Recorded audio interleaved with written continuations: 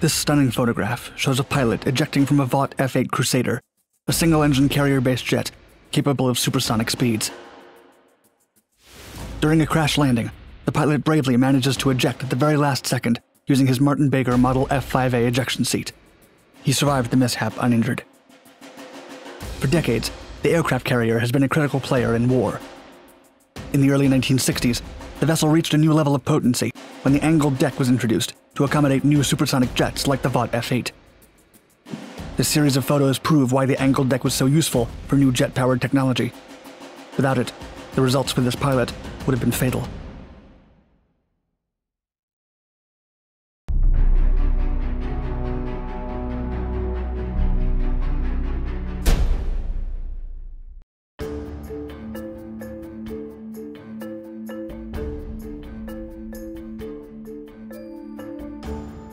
The aircraft carrier has been the most potent warship for generations.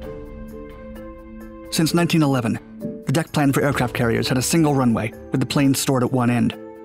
The first planes were catapulted into the air and away from the ship. Later, landing planes were stopped with arrestor wires and with the help of barricades. This meant accidents were prevalent, given the timing of the landing was crucial for a safe landing. When the jet powered airplane came into the picture, it was a game changer for carriers.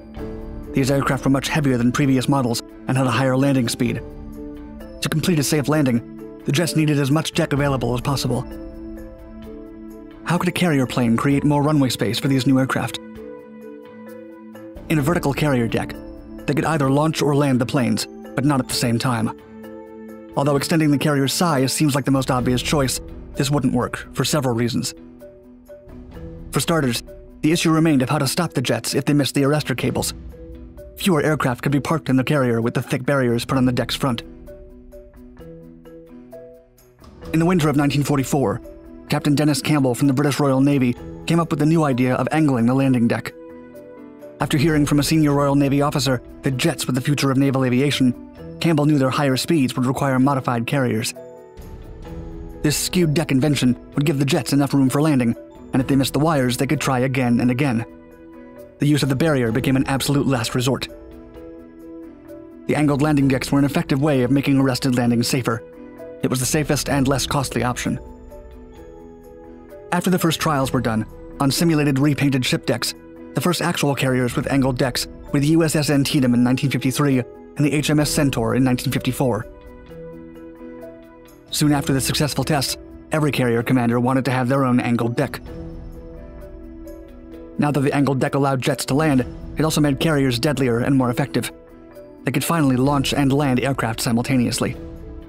The area to starboard of the new runway gave a bigger parking space for other aircraft, their recoveries, parking, refueling, and rearming.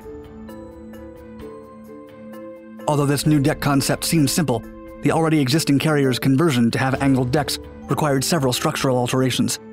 For example, loss of the armament compartments and the addition of new deck supports mounted on the port beam.